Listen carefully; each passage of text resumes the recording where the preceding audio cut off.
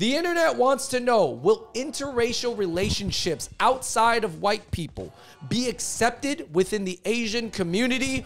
Woo! Let's talk about it. Yeah, this went viral on Reddit, guys. I mean, this one has the potential to be very controversial, very spicy, but we're gonna do our best to give our quick thoughts, analyze the comment section. So make sure you like, subscribe, and turn on your notifications. But Andrew, you know what else is spicy?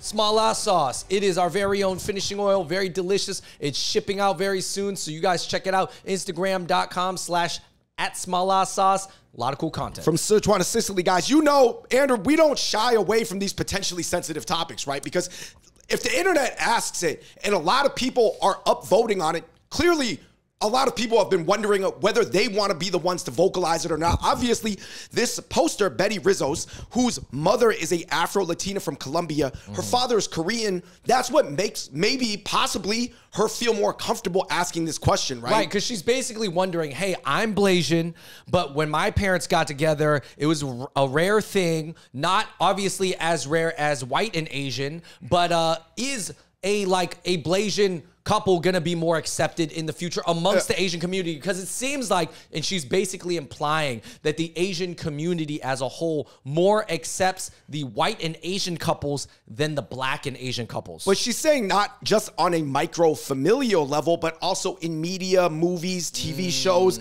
uh, K-pop music videos. Uh, if the love interest isn't Asian, they're always white. So this is like her as a half Afro Latina, half Korean asking this question of like, how come I don't see myself be represented?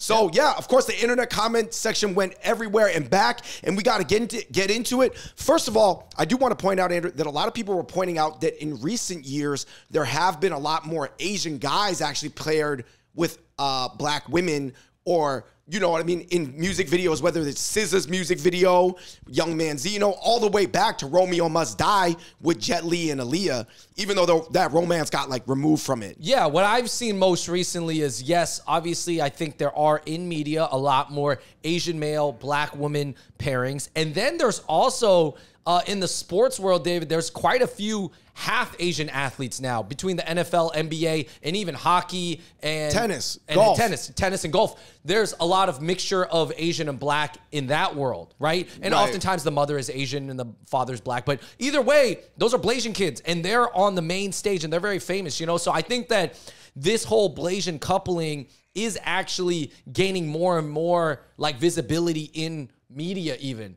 uh, so I think that's a good thing. Right. But You're I, talking about like her to eh, more indie mm-hmm. artists like Toro yeah. y Moi, and then like you said, all the athletes, Rui yeah. Hachimura. Even Saweetie's like, oh, half Asian, her is half Asian. Like oh, there's a lot of singers who are half Asian. Anderson .Paak.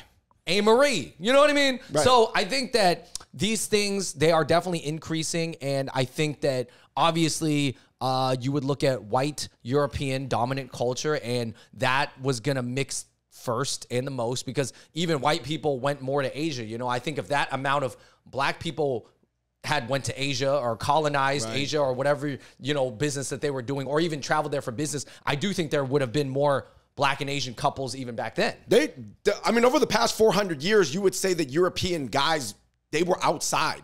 They were they, they were outside I mean, even, even Latin women. America obviously there's a heavy European mix in there, and even yeah. amongst Black Americans, right? Yes, exactly. So uh, I guess the elephant in the room that I would address is I just generally think that I think if the black and Asian person come from a similar culture or economic socioeconomic background, they're more likely to get together. Like like if if if the the Asian girl or Asian guy meets the black partner at UCLA or Berkeley, I don't think that many Asian families would make a fuss about it.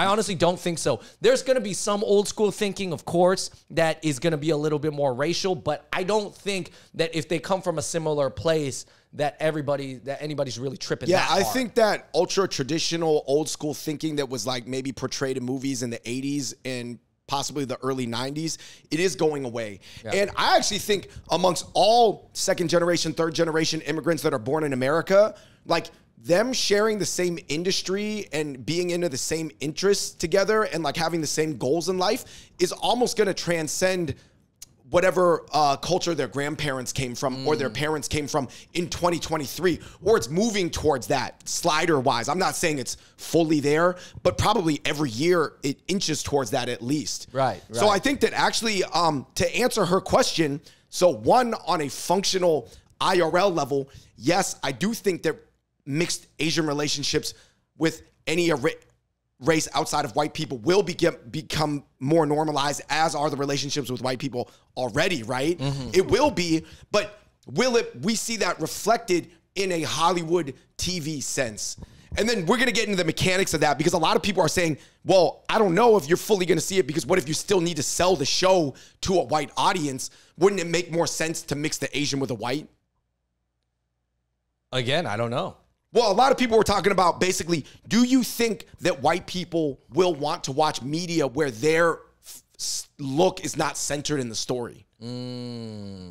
I mean, I guess Andrew, any thoughts? Yes or no? I mean, I guess it is also humanistic not to fault them if it was 100% not to fault them, but it's like people want to watch pieces where they feel represented, right? But probably white people, they're the most accustomed to seeing themselves be represented. Like when I'm on an airplane and people are watching the media on the back of the mm-hmm. screens, usually I see oftentimes, this is just my observation, my own, I have no stats.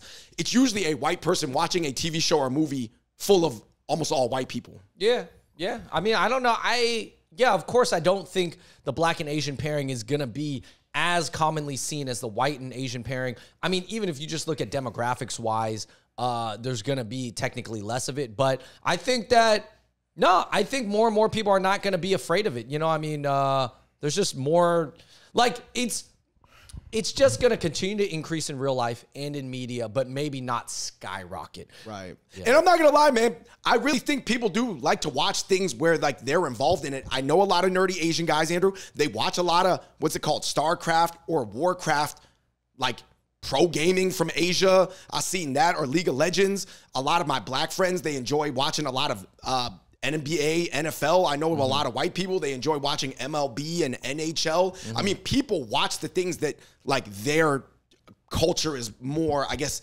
heavily involved in that industry, right?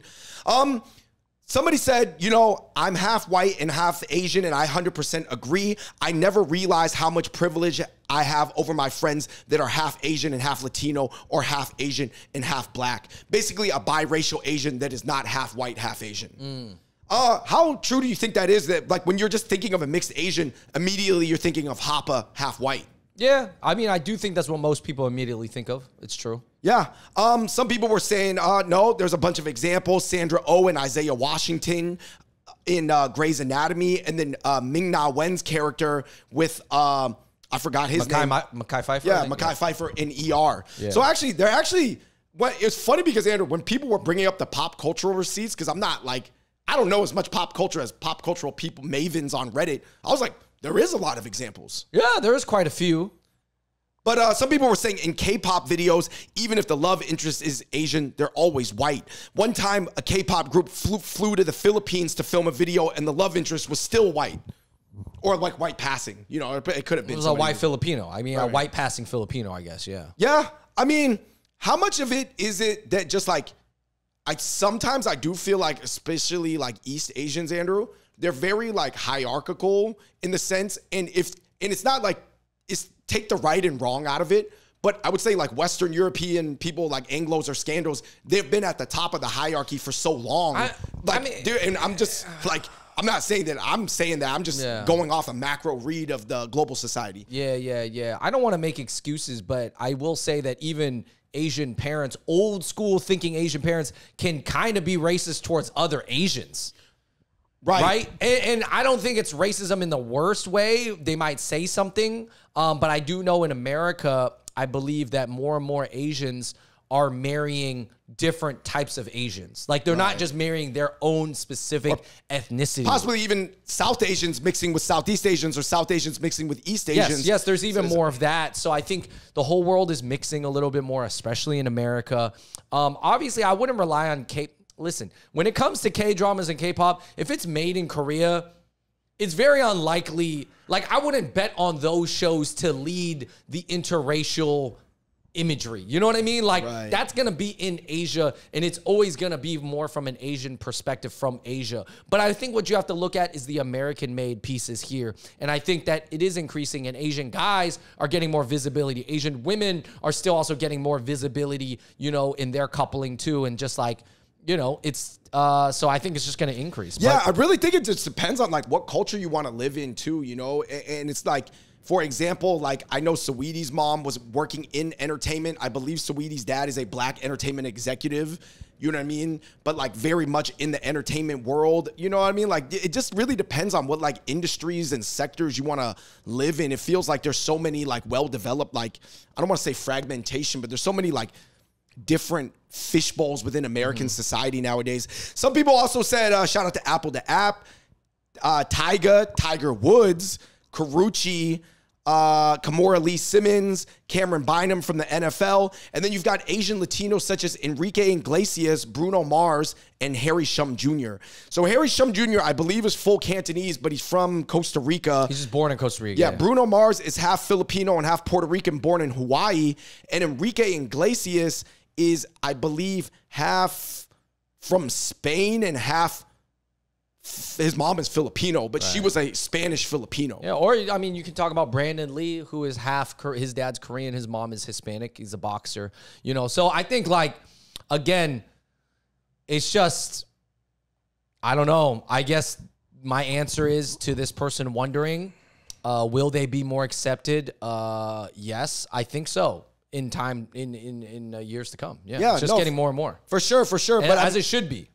I, you know, I can understand the question, uh, especially as somebody who's she's a K-pop fan. She's probably a fan of Asian American media as well, and she's not seeing necessarily the pairing that represents her parents as reflected. But you have to understand one thing. I say this: uh, change is for sure. Like change always happens, surely, but it's almost also for sure happening very slow Right. but it's slow and steady. And I would say that that's uh, the bright side of it. And I do see it changing for more uh, diversity and more inclusion of everybody and everybody just getting along with each other better, especially obviously if they have shared ideals and shared interests and things like that. So let us know what you guys think of her question in the comments section below. Will interracial dating in media, but also on a micro level, be more accepted outside of white in the Asian American community? Let us know what you think in the comments section below. Please keep it civil. We encourage debate. Like we said, it was a difficult discussion, but you know, we're willing to have it. Until next time, we're the Hot Pot Boys. We out. Peace.